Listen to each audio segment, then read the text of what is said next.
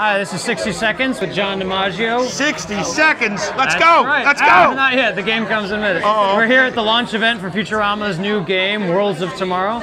So we have a game for you, actually. Let's Called rock and roll. 60 seconds. You have that amount of time to answer as many questions as you can. Okay. Don't know an answer? Say skip. Okay, go. All right, ready? Ready. Star Wars or Star Trek? Oh, oh, oh, oh, Star Trek. Oh, favorite TV show as a kid? Uh, favorite Batman, 66. Newspaper or magazine? Um, Can I say both?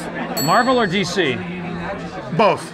All right. Uh, which is your favorite Avenger or Justice League member? Uh, uh, it's got to be um, Aquaman. All right. First movie you ever saw? Uh, first movie I ever saw was, um, um, oh my God, Funny Girl. Favorite food? Um, favorite food, uh, all of it. Name your first pet. First pet uh, was um, Phaedrus. Bruce Lee or Jackie Chan? Oh, Bruce Lee, hands down. Favorite Muppet? Uh, um, uh, um, Rowlf the dog. Otters or penguins? Cuteness. Otters. What are you afraid of? What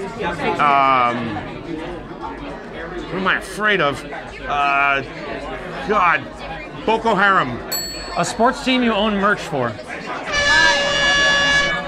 The Jets.